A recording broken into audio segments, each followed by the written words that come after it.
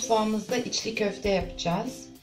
Ee, iç malzemelerini sayıyorum. 300 gram kıyma, 2 tane soğan doğranmış, 1 adet sarımsak, 1 yemek kaşığı e, salça, yarısı domates salçası, yarısı biber salçası, maydanoz, cevizimiz var ve baharatlarımız var. Tuz, karabiber, kırmızı biber. Bunu pişirmek için de sıvı yağımız var yarım bardak.